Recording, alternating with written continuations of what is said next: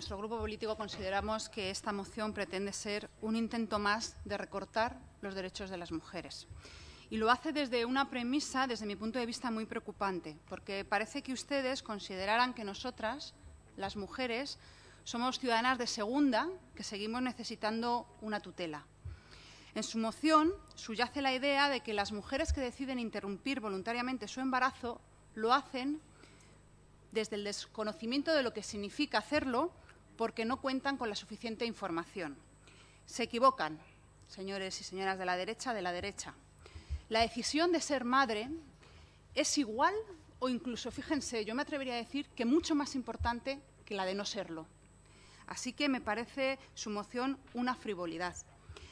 Disfrazan su ideología rancia bajo esta moción que habla de información y asesoramiento a lo que el Partido Popular se ha agarrado y revestido de neutralidad. Señores y señoras de la derecha y de la derecha de la derecha, ¿se refieren también a dar información sobre una educación afectivo-sexual? ¿Información sobre la interrupción voluntaria del embarazo? ¿O sobre los métodos anticonceptivos, la prevención o la planificación familiar? Su moción no menciona ninguno de estos conceptos. Piden información y asesoramiento permanente para las mujeres embarazadas, ¿Se refieren también, por ejemplo, a información sobre la píldora del día después?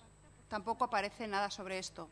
Piden ayudas económicas a adolescentes embarazadas. ¿Se refieren también a que la interrupción voluntaria del embarazo esté cubierta al 100% desde la sanidad pública? ¿O en realidad, en realidad en su moción solo se refieren a un tipo de información y ayudas?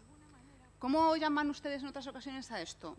Algo así como adoctrinamiento a ese pensamiento único que pretende derogar la ley del aborto, que ustedes han confesado abiertamente, sacarlo de la cobertura pública y que las mujeres continuemos con nuestros embarazos no deseados para dar a nuestros bebés en adopción. Por cierto, con ello ya de paso solucionamos el problema de la, natalidad. ¿De verdad ustedes en esta moción están planteando que con la prevención de embarazos no deseados este país va a solucionar el problema de la natalidad? ¿De verdad es eso lo que plantean? Ahora, eso sí, el problema de, la natalidad y, de la adopción. De la adopción,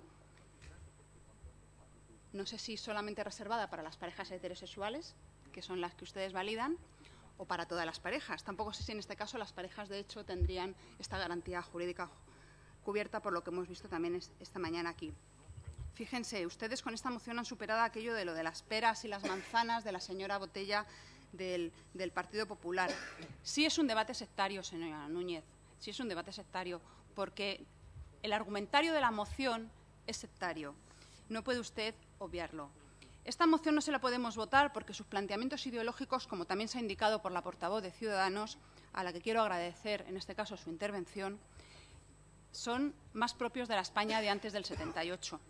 Desde esta corporación municipal les vamos a afirmar rotundamente que Fuenlabrada es una ciudad que a ustedes no les gusta, pero que es una ciudad diversa, plurireligiosa, feminista, LGTBI, con multitud de culturas, que lucha contra la porafobia, que utiliza la educación como ascensor social y que tiene una cartera de servicios sociales que es la envidia de muchas poblaciones de la Comunidad de Madrid y del conjunto de España. Las competencias en la materia de información y de salud no son de las administraciones locales, son de la Comunidad de Madrid. Pero para su tranquilidad les diré que Fuenlabrada hace ya muchos años que cuenta con un centro juvenil de orientación para la salud, donde las menores y las jóvenes embarazadas cuentan con orientación psicológica y educativa, con el fin de tomar una decisión libre que por cierto le pido que lo apunte por si es la, próxima información que va a pedir, a cuántas mujeres las listas negras, como están haciendo con otros servicios, con el fin de que todas ellas puedan tomar una decisión libre, libre y obtener el apoyo tanto si quieren continuar con el embarazo como si no. Se llama derecho a decidir, derecho a decidir. Sí a la vida, por supuesto, por supuesto. También sí a la vida de las mujeres. Les recuerdo eso que se empeñan en negar, y con ello voy terminando. Más de mil, más de mil mujeres asesinadas desde 2003. Y ustedes, a ustedes, a la derecha de la derecha, no se les rasgan las vestiduras cuando niegan la violencia hacia las mujeres. Se llama violencia de género, violencia machista y se cobra muchas vidas, también de menores. Sí al derecho de las mujeres a una vida sin violencia machista, sin patriarcado, sin que mercantilicen nuestros cuerpos y compren nuestros bebés.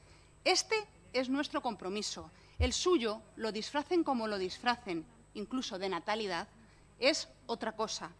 Y ayer la ciudad de Fuenlabrada se lo dijo muy claro. No vamos a dar marcha atrás en la conquista de los derechos de las mujeres en esta ciudad.